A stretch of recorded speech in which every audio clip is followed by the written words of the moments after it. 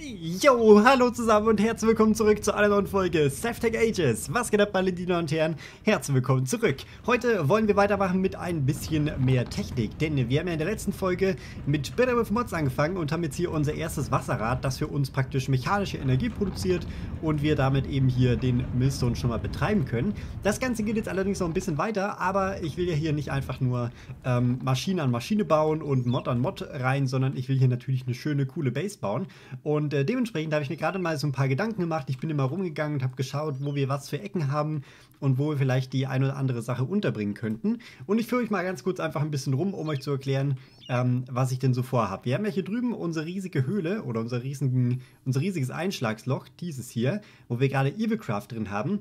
Und das Teil würde ich gerne für Evilcraft und Blood Magic benutzen. Vielleicht erstmal, ähm, vielleicht kommt Evilcraft hier hin und äh, oder ist erstmal hier, wird später verschoben und dann kommt Blood Magic hier hin. Denn ich würde gerne so eine Art ähm, Insel hier machen, also so eine auf Stelzen stehende Insel, wo praktisch der Blattaltar später drauf ist. Da habe ich eine ziemlich coole Idee oder eine ziemlich coole äh, Inspiration gefunden, ein ziemlich cooles Design. So ähnlich würde ich das gerne auch machen. Das heißt, hier praktisch so eine Insel, die in die Mitte rausgeht und nicht schwebt, sondern praktisch auf Stelzen hier drin steht. Und unten drunter könnte man dann die Mobfarm machen und vielleicht sogar so ein Blutsee oder sowas hier mit rein.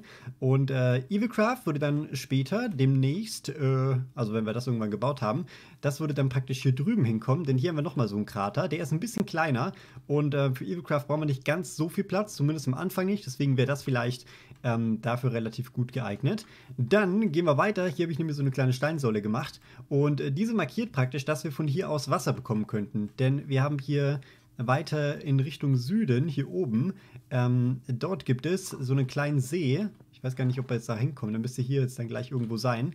Äh, genau, hier. Also hier ist so ein kleiner See und der ist praktisch, also das ist die, die einzige Wasserquelle in der Nähe von uns, die höher liegt als unsere Base. Dementsprechend wäre das sehr gut äh, für Aquädukte. Also wir könnten von hier praktisch Aquädukte in diese Richtung hier legen und dann könnten wir von da irgendwie unser äh, unser Wasser betreiben. Das wäre also hier eigentlich eine ziemlich coole Idee. Ähm, für die restlichen Mods, die jetzt dann noch bald kommen, habe ich noch nicht wirklich eine Idee. Äh, für Astro Sorcery auf jeden Fall schon, denn das kommt jetzt auch sehr, sehr bald. Das wird auch das Ende von Kapitel 1 und den Anfang von Kapitel 2 bestimmen. Und das würde ich gerne hier oben auf den Berg hier machen. Wir sehen leider noch nicht, wie hoch wir hier sind. Das ist äh, relativ schade. Ähm, aber für Astro Sorcery empfiehlt es sich so auf Höhe 120 maximal zu gehen. Deswegen, ich sag mal, wir sind hier auf 60, dann sind wir hier vielleicht auf 100 oder sowas. Das wäre äh, ziemlich cool. Dann würde ich da so eine Treppe hoch machen und dort oben würde ich dann praktisch unsere Astro Sorcery ähm, Altargeschichten aufbauen, sodass wir das da haben. Ich will wirklich mal eine große, schöne, geordnete Base bauen und nicht einfach nur einen Keller, wo alles mit drin steht. Und für die heutige Folge gibt es auch was Interessantes, denn heute gibt es nicht mehr so viel Technik. Es gibt zwar am Ende noch ein bisschen Technik, aber am Anfang kümmern wir uns erstmal um ein bisschen Bauen bauen, denn hier drüben hin würde ich gerne eine Wassermühle machen, beziehungsweise die Better with Mods Geschichten. Das heißt, ich würde gerne hier ein Wasserrad oder das Wasserrad praktisch hier mit reinbauen. Ich muss gucken, wie wir das mit der Strömung machen, aber das kommt praktisch dann später hier hin und äh, hier kommt dann eben das Gebäude dazu, wo wir dann die ganzen äh, Sachen verarbeiten können, genauso wie wir oben dann zum Beispiel einen Turm machen können, wo dann später äh, ein Windrad mit dran ist. Und dementsprechend kümmern wir uns jetzt direkt am Anfang der Folge darum, dieses Gebäude zu bauen. Diesmal sogar in der coolen Perspektive. Deswegen äh, würde ich sagen, wir switchen in die andere Perspektive, fangen mit dem Zeitraffer an und ich äh, wünsche euch super viel Spaß dabei.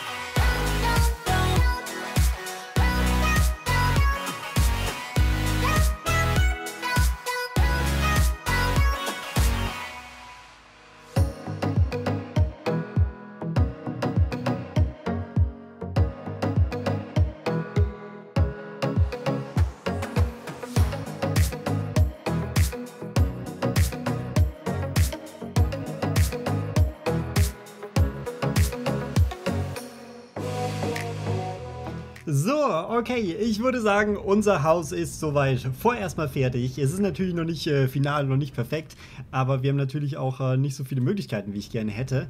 Äh, was das Dach angeht, ich bin mir noch nicht so ganz sicher, ähm, ob wir das Ganze so lassen oder ob wir das noch ein bisschen ändern sollen. Aber äh, für jetzt ist es, sag ich mal, okay, weil diese Stelle hier zum Beispiel, die gefällt mir gar nicht. Ich glaube, wir sollten die Reihe hier auch wegmachen. Ich sage einfach mal, ähm, rip unsere Holzvorräte, also da ist komplett alles weg. Ich habe davor noch mal ein bisschen was geholt. Wir haben ja auch noch mehr Bronze und sowas gebraucht, also mehr, ähm, mehr Tin, Kupfer hatten wir noch.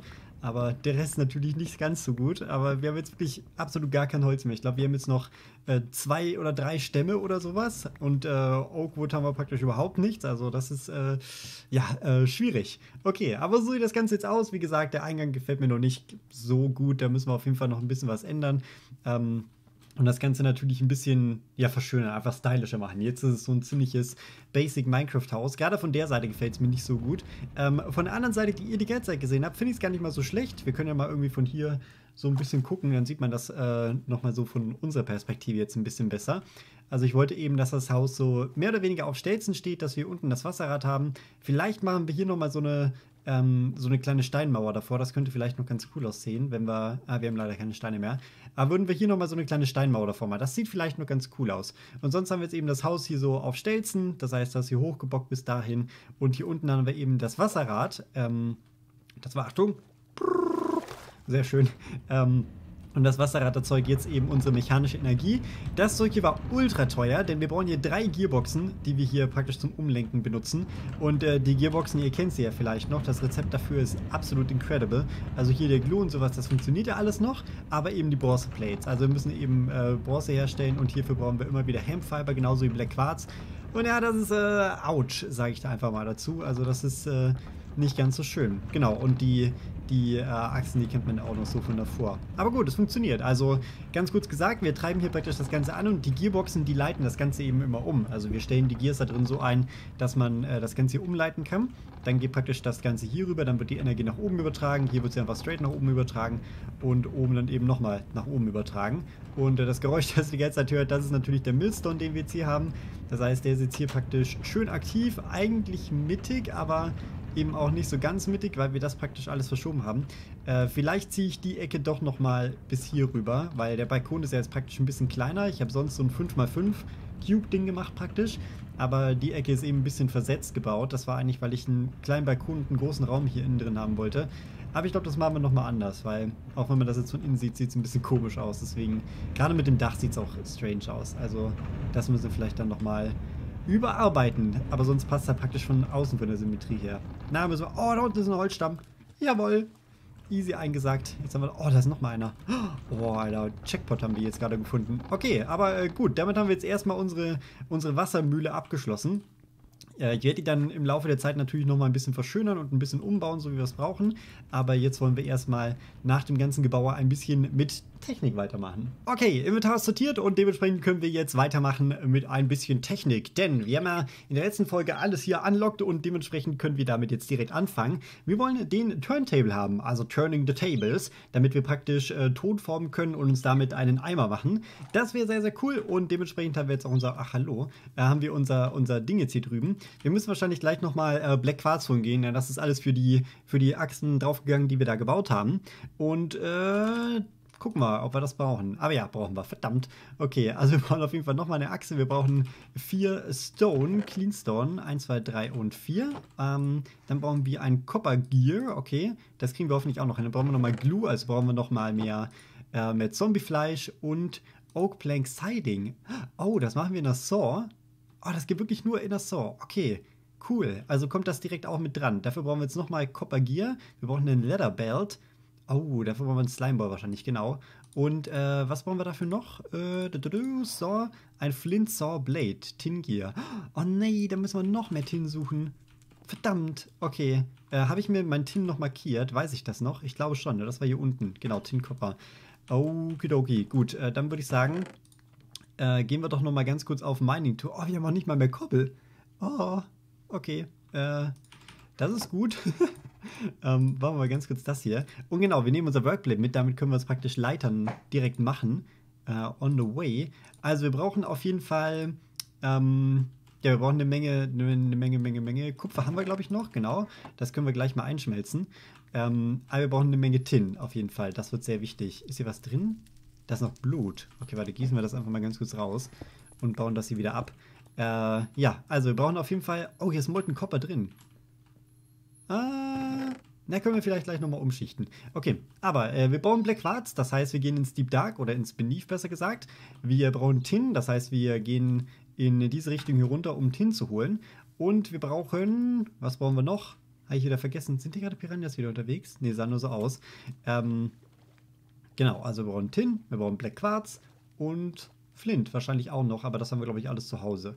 Und Holz kann auch nie schaden. Okay, aber dann können wir uns praktisch eine Säge machen. Oh, da bin ich echt gespannt drauf. So eine, so eine Tischsäge, die wir dann praktisch damit haben, das äh, stelle ich mir auch ganz cool vor eigentlich. Oh, guck mal, hier ist nochmal so ein Mini-Krater. Hello. Und äh, natürlich, wie heißt das dritte Ding, was wir haben wollen? Äh, der Turntable, genau. Also Ziel für heute ist der Eimer, denn wenn wir das haben, dann geht es demnächst wieder, huiuiui, äh, dann geht es demnächst wieder weiter mit ähm, Magie. Und zwar mit Astral Sorcery. Guck mal, die nehmen wir gleich mal mit. Vielleicht brauchen wir die irgendwann. Okay, also ganz kurze Mining-Tour und äh, dann sehen wir uns gleich wieder, wenn wir hoffentlich alle Sachen haben, die wir brauchen. Gut, Tin ist schon mal da und jetzt kann ich euch noch mal ganz kurz zeigen, wie dann die Leitern hier funktionieren, denn man kann praktisch mit dem Flint Workblade oder generell mit dem Workblade, äh, kann man hier auf Cobblestone klicken und dann hat man glaube ich zwischen ein oder vier Mal, genau, wo man hier draufklicken muss und dann, oh, oder sogar noch mehr und dann kriegt man praktisch hier eine Leiter geformt. Eigentlich ziemlich cool, dann kann man das einfach on the go immer mal wieder machen und äh, muss sich nicht immer Leiter mitnehmen. Und mir wurde gesagt, dass man viel schneller ist, wenn man einfach nur nach oben oder nach unten guckt, statt äh, W oder S zu drücken, wenn man die Leitern hoch und runter geht. Deswegen probieren wir das gleich mal aus. Ah, ich wollte eigentlich eine komplette, hallo, eine komplette Mining-Tour machen. Okay, die, doch, die will schon. Sehr schön. So, und wenn wir jetzt hier einfach nach oben gucken, ah, das ist echt ein bisschen schneller. Sehr cool. Okay, aber letztes Ding auch noch. Gut, okay. Tin und, äh, Tin und äh, Coal haben wir, sogar eine ganze Menge. Und äh, dementsprechend geht es jetzt wieder nach Hause ins Deep Dark, ins Bendiv, sorry, und äh, noch ein bisschen Black Quartz holen. Okay, also ich habe keine Ahnung, was gerade abgeht. Ich bin hier gerade friedlich umeinander gelaufen und habe äh, versucht, Black Quartz zu finden.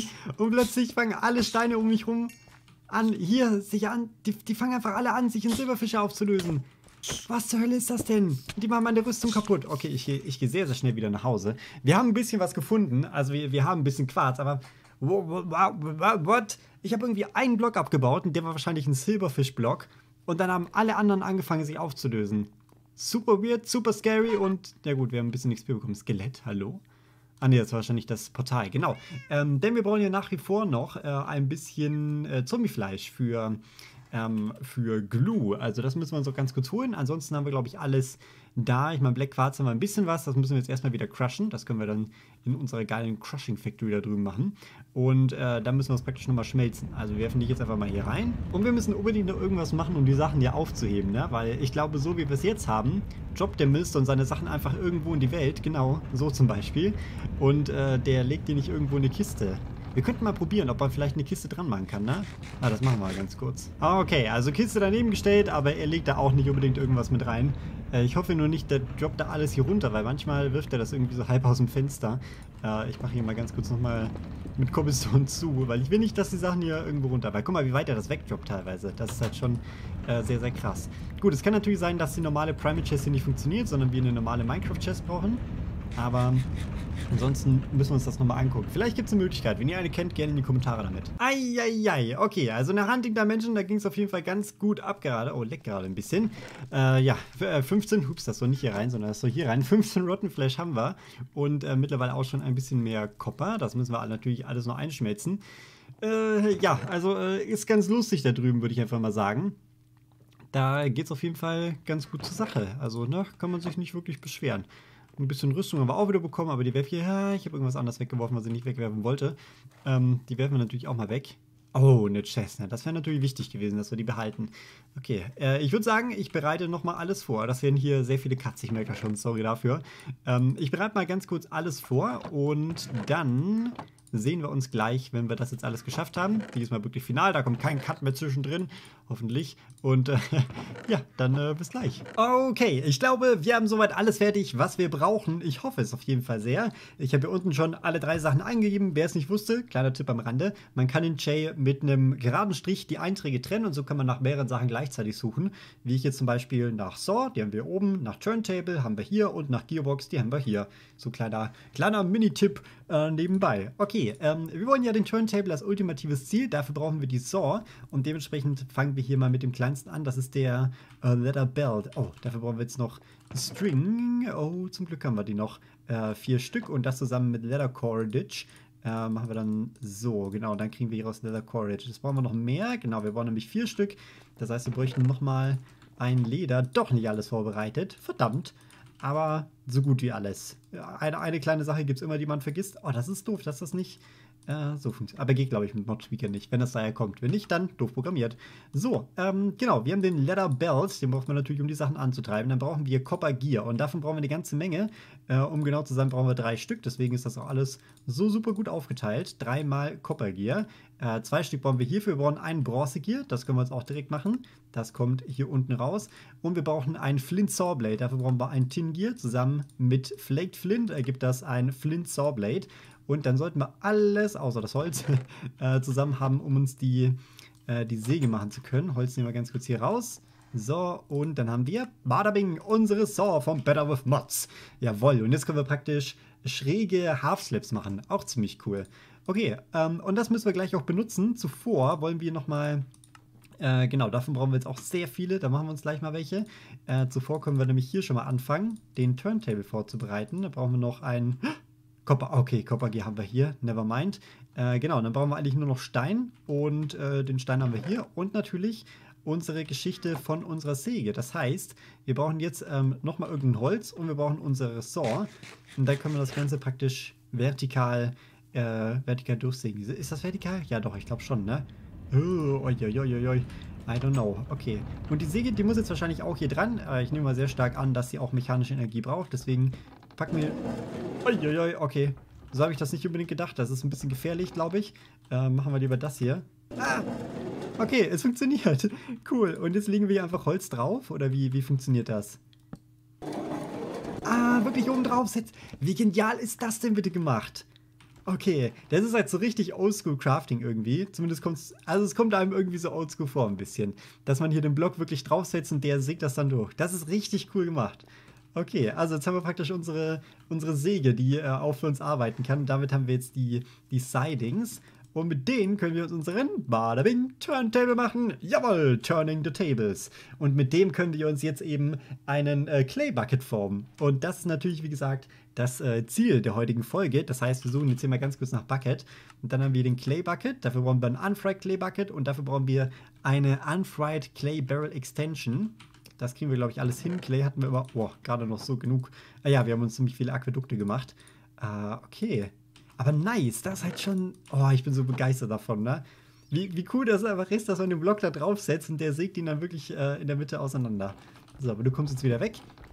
Denn äh, wir wollen praktisch unseren Turntable äh, hier haben. Okay. Und äh, da oben drauf kommt jetzt unsere Ding. Okay, da macht er was. Wir selber müssen Okay, ich kann hier irgendwas umstellen. Und dann kriege ich verschiedene Formen raus, wie es aussieht. Oh Gott, ich hoffe, äh, ich muss jetzt nichts Bestimmtes hier machen. Ach, das ist schon ein Unfried Clay Bucket. Ja, okay, dann, dann geben wir den doch bitte wieder. Ah, wie cool. Okay. Also ich weiß nicht genau, wofür wir die sind. Die sind vielleicht für verschiedene Schnelligkeitsstufen, könnte ich mir vorstellen. Wenn man mal ein bisschen mehr, ein bisschen mehr Wumms braucht, dann könnte man das machen. Ähm, und ich würde auch gerne die ganze Geschichte hier nochmal umbauen sodass wir praktisch die Gearbox ein nach unten setzen. So, hierhin dann besser gesagt. Ich habe auch noch mal genug Zeug für praktisch noch eine Gearbox. Die werden wir auch demnächst bauen, damit wir hier mehrere Maschinen gleichzeitig haben. Aber wenn wir es jetzt praktisch so machen, dann äh, können wir das hier wunderbar äh, direkt auf die richtige Höhe stellen und müssen das nicht, ah, äh, müssen das nicht irgendwie komisch machen. So, warte, Achtung. Ha. Ah, perfekt. Oh, die macht sogar Schaden. Ja, geil, Matico. Okay, warte, die anderen Maschinen lasse ich auch gerade mal hier. Die funktionieren natürlich jetzt nicht so, wenn ich sie hier hinstelle. Aber Äh, dann sind sie zumindest schon mal am richtigen Platz und wir können sie auswechseln, wenn wir sie brauchen. Und jetzt heißt es noch, Unfry Clay Bucket in unseren Kiln hier drüben reinpfeffern, warten, bis der hier fertig gebraten ist und dann kriegen wir unseren richtigen Clay Bucket. Und mit dem können wir dann endlich mal Wasser so transportieren. Also dann haben wir eine Möglichkeit, Wasser und sowas in der Welt zu setzen. Jawohl! Bucketlist, da ist es. Yay! Okay. Ja, geil. So, warte, jetzt können wir das einmal ausprobieren. Wir können nämlich, genau, wir können von Aquädukten ja praktisch Wasser einfach so hier rausnehmen. Oh Gott, du siehst böse aus. Also hier können wir jetzt Wasser rausnehmen. Und wir können natürlich jetzt auch, okay, das war nicht unbedingt das, was ich wollte. äh, solltest du nicht eigentlich das Ganze hier erweitern? Jetzt macht er das wieder, okay. Ähm, mit einer Blase geht's. Ich weiß nicht, ob es mit Eimern auch geht, aber scheinbar nicht so ganz. Doch, jetzt funktioniert es wieder. Gut. Und äh, dann können wir jetzt praktisch hier äh, eine neue Wasserquelle setzen. Das konnten wir davor nicht. Wir konnten nirgendwo Wasser platzieren, sondern wir konnten es immer nur ja, mitnehmen, aber wir konnten es nicht verwenden oder so. Das ist halt immer so ein kleines Problem nebenbei. Okay. Ja, aber das ist doch ziemlich, ziemlich cool, würde ich sagen, um äh, die Folge zu beenden. Wir haben jetzt also die Möglichkeit, Wasser zu setzen. Wir sind sehr viel weitergekommen, was unsere Technik angeht. Äh, Gerade was äh, Better with Mods angeht, wir haben jetzt mechanische Energie, wir haben ein eigenes Haus dafür. Unser Pferd ist uns hier irgendwie abgehauen. Du gehst mal bitte wieder. Hallo, hat er keinen Bock mehr? Der hat keinen Bock mehr zu arbeiten. Der denkt sich jetzt, du hast mechanische Energie, ich muss nichts mehr für dich machen. Aber musst du noch. Ich brauche dich nämlich noch ein bisschen. Ja, nice. Gut, dann würde ich sagen, in der nächsten Folge geht es weiter mit Magie, und zwar mit Astro Sorcery. Wenn ihr da Bock drauf habt, dann schaltet auf jeden Fall ein. Astro Sorcery ist eine ziemlich gute Mod. Morgen um 15 Uhr geht's weiter. Vielen Dank fürs Zusehen. Wir sehen uns beim nächsten Mal wieder. Ich hoffe, die Folge ist nicht wieder so lang geworden. Sorry dafür. Und äh, dann bis zum nächsten Mal. Haut rein und äh, bis zum nächsten Mal. Meine Abmont ist schon mittlerweile fünffach, ne? Ich wünsche euch noch einen wunderschönen Tag. Tschüss.